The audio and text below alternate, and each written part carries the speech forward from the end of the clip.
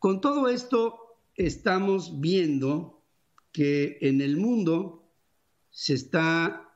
empezando a mover el mundo ante lo que pudiéramos llamar una nueva normalidad. Y, dentro de lo normal está lo anormal. Fíjense, este, un inédito desfile de 22 momias de faraones del antiguo Egipto, entre las que figuran Ramsés II y Hatshepsut, es otro faraón, se realizó en las calles del Cairo en dirección a la nueva morada de los faraones, que es el Museo Nacional de la Civilización Egipcia.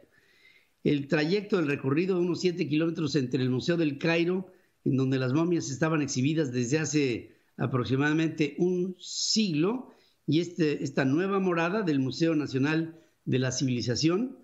tuvo una duración de alrededor de 40 minutos y fue realizado bajo un fuerte dispositivo de vigilancia de la policía. Me llama la atención porque este desfile tuvo que pasar por la Plaza Targir, en donde está el Museo Histórico y que fue recientemente decorada con un obelisco antiguo y cuatro esfinges con cabeza de cabra en sus inmediaciones que fueron cerradas a vehículos y peatones, según se dio a conocer por el Ministerio del Interior.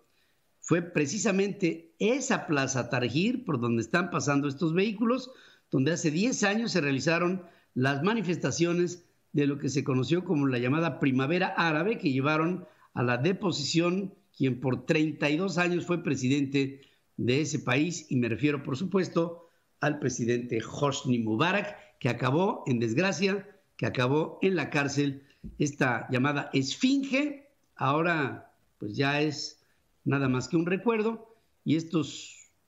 faraones salieron de la nada para regresar a ser parte cultural de un acervo que hoy tiene un relieve distinto, diferente, con una nueva óptica, con una nueva visión en, este, en Egipto. Me llama profundamente la atención.